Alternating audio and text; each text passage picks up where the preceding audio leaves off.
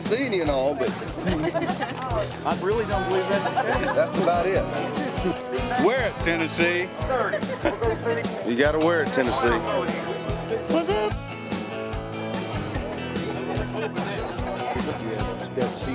Oh, yeah. And I'm sure I didn't make much of an impression, so you don't remember me. I was going to say, I think I know you. We're at Tennessee. It's an idea that's catching on. Wear it, Tennessee. We're in Tennessee.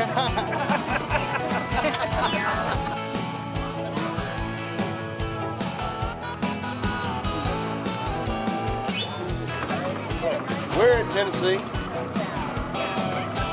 Hey, man, I got it. Wear it, Tennessee. All right. I got one of them, too.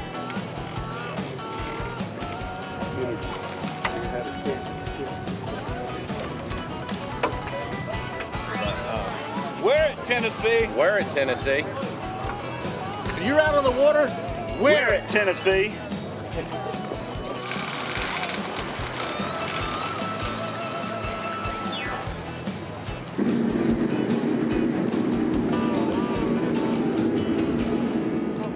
Hello, everybody. My name is Jason Harmon for your Tennessee's Wildcast, and we're here on Percy Priest Lake with a celebrity fishing tournament with Donnie Mack from Hunt Fish Cook. He's going to tell us a little bit about what's going on. Hey, Jason, big day on Percy Priest.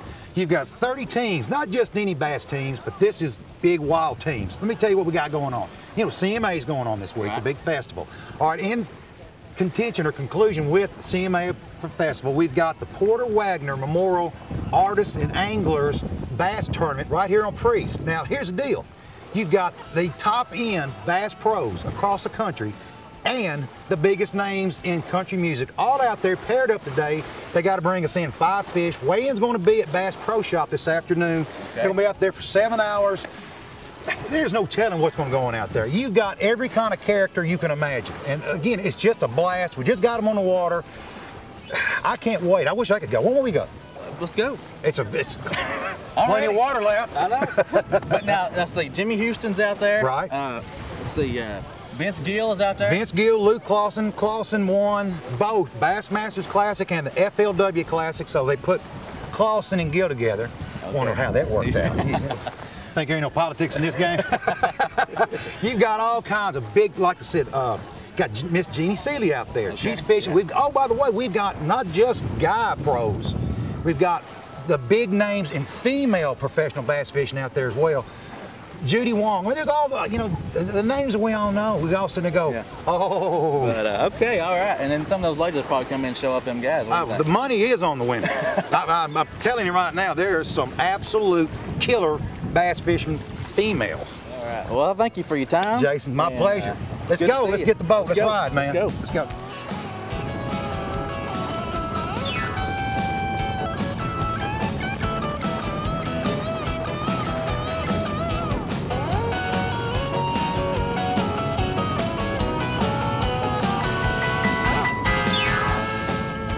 Okay, folks, uh, we got a chance to go out with Tanya Tucker. It's gonna be an awesome day out here fishing uh, on Percy Priest Lake. So, celebrity fishing tournament. Gonna be awesome. We'll bring in five fish, five big ones, right, Tanya? Well, at least. I, I mean, that, that's probably what Scott's going to get. I'm probably going to get 10 or 20, I think. Okay, yeah, 10 or 20 will work. We'll Once he shows me how to hold my nose, I'm, I'm sure everything's going to be fine. All right, so let's do a little fishing here. So I hope you got like a 200 pound test weight on on there. Guess we get a- 200 pound. Yeah, I guess we'd get a real big one. He's got one. He's got one. Woohoo! Woohoo! Yes! That's a good one. Oh, that's a pretty one. Look at him. Oh, man, look. Say, ah. That's a nice one. How many pounds? He's got to be. he's got to be 15 inches long. I don't know if he'll make it or Oh, not. are you serious? Let's measure him. You want measuring limit?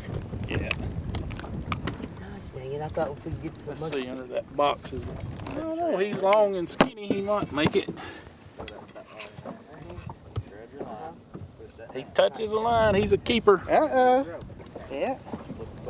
He's there. Man. One. Well, we got one in the boat, then I folks. Tanya one. Other guys, nothing. right? Absolutely. we don't know where those other guys are.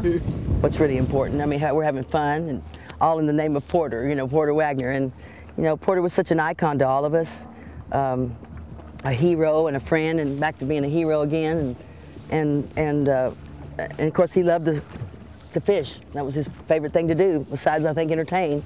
And um, you know, it's just a, a, a great thing to uh, to be able to come out here and have fun and uh, and remember our good friend. You know, he's done a lot for country music, and, and we have a lot to thank him for.